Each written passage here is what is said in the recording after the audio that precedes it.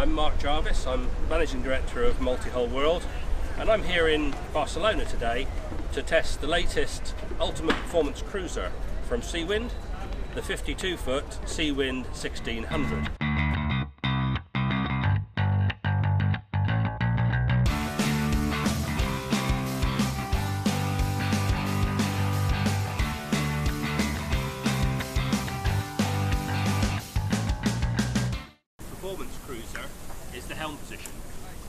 Helm position on the Seawind 1600 is particularly good because you have everything immediately to hand and you have fantastic visibility forward and you have complete connection with the rest of the crew on board the boat.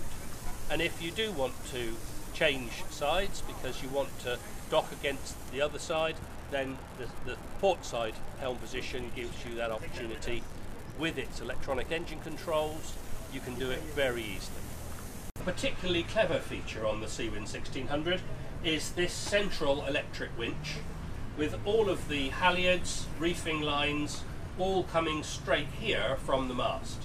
It means that all the ropes that come from the mast aren't a trip hazard around the boat and it's very easy to set and douse the mainsail from here. When you connect that to the two sheet lines and two sheet winches that are to left and right of me, then handling the mainsail with this boat from the safety of the cockpit is very easy. Cruising boats are not only about sailing, they're also about enjoying time spent at that beautiful anchorage that you've just reached. And on this, on this boat, you have this great, comfortable outside seating space, and you have this immediate access through to the saloon with the ventilation through from the saloon keeping whole area nice and cool. As you can see, this is a very sheltered position to be able to helm the boat for long distances and a nice little feature that comes with this this this boat is full of these little features but this example where you can rest your feet on this little bar or stand up when the bar is put away is an excellent feature for a cruising boat. On any cruising boat, power and water are fundamentally important to your ability to be independent. And on the Seawind 1600, this is dealt with particularly well. You can see we have an enormous uh, opportunity to put an array of solar panels, providing enough power to keep the boat and its crew perfectly happy no matter what they're doing with their Game Boy or their equipment on board.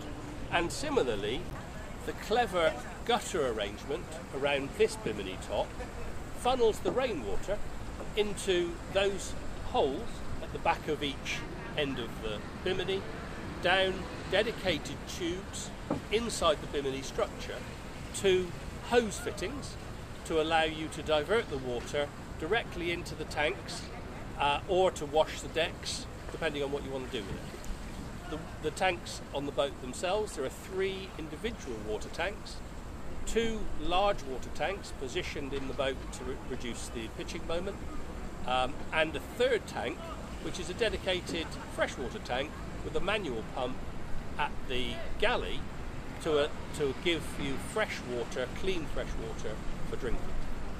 Like most performance multi-hulls, the Seawind 1600 has a square top mainsail which is very powerful. To be able to control that power, the, this system uses two independent sheet tackles, a leeward and a windward, and those run to these two winches. This system gives absolute control over the mainsail shape, much better than a solution using a, a traveller would do, and allowing the, the helmsman, the skipper, to get exactly the shape that he wants out of the main mainsail. The fall from each of these sheets then disappears into this very clever rope box at the back of the boat along with the halyards and the reefing lines from the electric centre winch.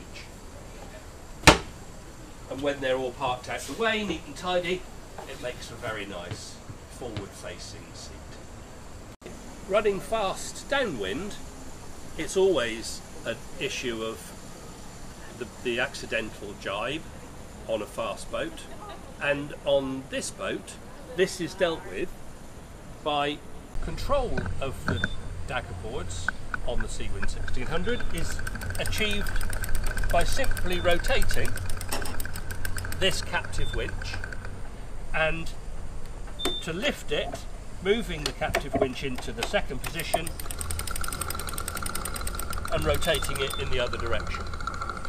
This means that you don't have to go forward on the boat to lower the, the dagger boards manually and the windage from the dagger boards when they're up is completely missing because the, the dagger boards are kept below the deck of the boat. Below the clever transom step on the boat is this opening hatch which gives access to the cassette type rudders.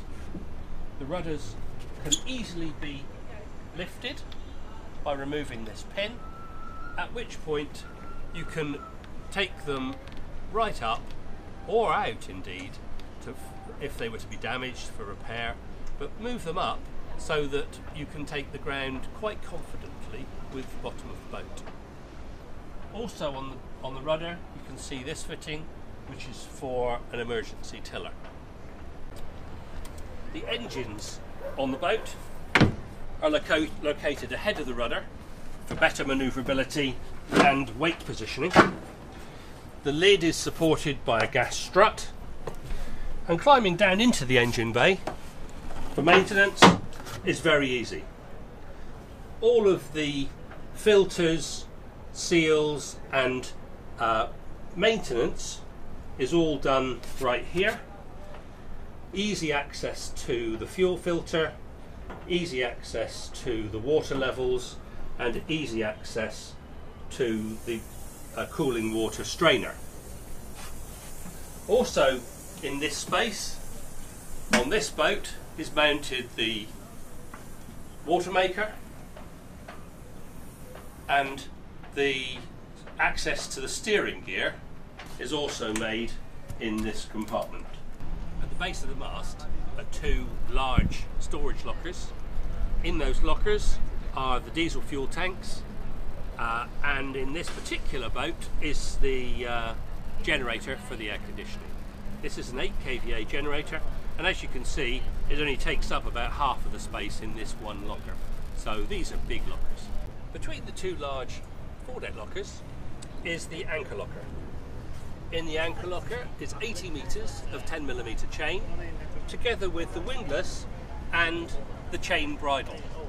The bridle system is attached to the chain here and then set as you back up off of the anchor. Very easy, very controllable here. Everything is right to hand that you might need if you're going to anchor this boat. One of the issues that many cruising sailors have with trampoline boats is going forward to access the winches or the furling gear or the reacher uh, across the trampoline. On this boat, it has a structural longeron which supports the uh, forward load of the mast, the foresail, the asymmetric, and the cruising chute, so that you can all of that load is supported within the structure of the boat, and it also gives you an easy walk forward to the base of the jib. On any genuine sailor's boat, a choice of sails to use depending on the conditions is really important. And on the Seawind 1600, this solution is put in place really well. So we have the conventional self-tacking jib set here on a furler, structurally onto the longeron, and with good clearance around it so that the sail isn't going to get snagged on any of the wires. Forward of that, we have a fixed position for the code zero. The code zero is set at a height that it again doesn't conflict with any of the uh, any of the structure around the around the bottom of the sail. And then beyond that is a retractable bowsprit for flying an asymmetric spinnaker. So all in all, very easily put in place, very easy to use, a combination of sail plans and sail sets to suit even the most discerning of sailors. The sailing side of any performance cruiser is only one half of the story. The other half, of course, is what you do when you stop at that beautiful anchorage that you've just sailed to. And here, inside the Seawind 1600, you have a great relaxing space. One of the many features is this slide out table folding top